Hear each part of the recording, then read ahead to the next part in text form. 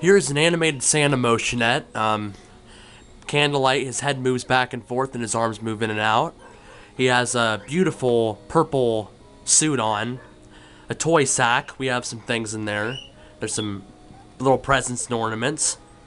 Big, huge toy sack. This Santa Claus was brought was uh, bought by my grandmother at Ames department stores when it was still open, and she eventually gave it to my uh, cousin Jace, and then he gave it to me. But he's pretty neat. He's probably one of my favorites. I love look. I look forward to bringing him down each year and putting him out. And he just keeps going back and forth and back and forth. He must have a good mo- motor because he's lasted a long time. That thing. This is probably from the early '90s. Yep, I love it.